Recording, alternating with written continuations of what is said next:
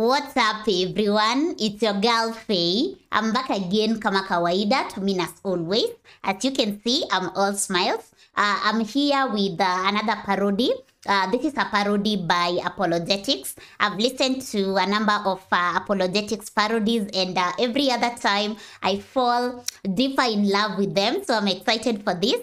Uh, so they are doing a parody of uh, Jimmy Eat World uh, song. The song is The Middle. I loved it. It was so motivational, inspirational. There was that chorus Everything, everything will be just fine. Everything, everything will be all right. Okay.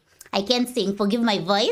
Uh, so uh, the parody, or rather, yeah, this parody is titled uh, The Spittle. Uh, so come with me, let's explore it and uh, hear what uh, it sounds like. I know it's gonna be amazing. It's going to wow me because that's what Apologetix is doing so far with uh, their parody. So come along, uh, let's get in. Mm, the Spittle.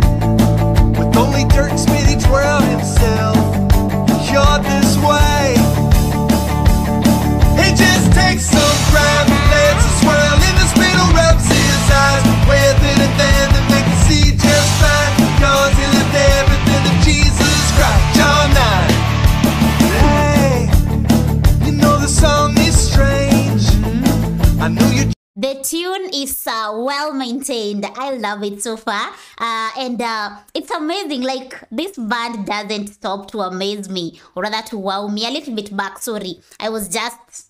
Jesus Christ. John 9. Hey, you know the song is strange. I know you're drooling at the thought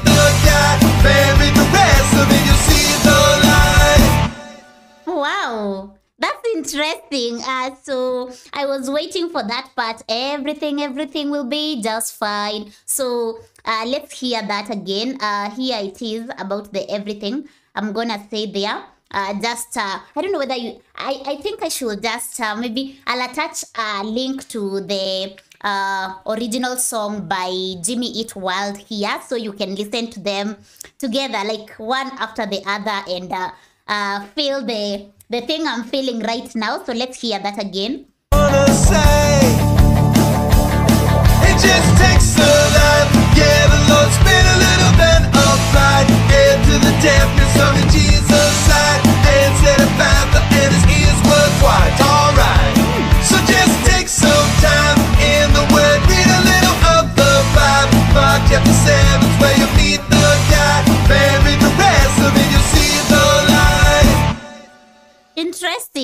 I still didn't get how that was twisted.